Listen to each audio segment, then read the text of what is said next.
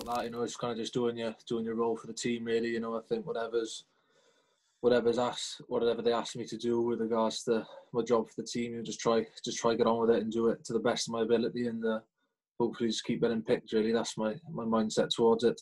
You know, I've had a bit of a stop-start few seasons over the last few years with injury. You know, so I think I've kind of got a bit of that continuity back into it. You know, and just kind of like you say being having a clear guideline to what what your role is and what's expected of you, and just being judged on that and not being judged on what other players' abilities are. You know, I think that's been the biggest thing that I've kind of got out of it.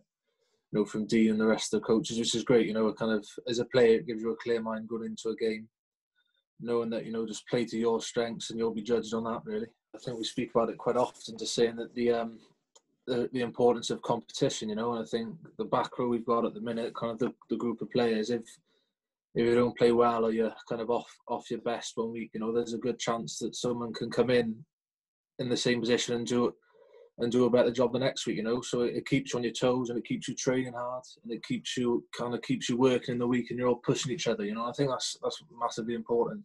Yeah, you know, Ollie, Ollie's a great player, you know. I think he he's been doing it for for a long for a while now for the Dragons, you know, and he's um it's kind of becomes expected of him now, you know, when he performs at that. But he is a he's tremendously hard worker both on and off the pitch, you know, and it shows in, in those games of that, you know, he, gets through a lot of work. It's, it's, a good good guy to have in the back row with you.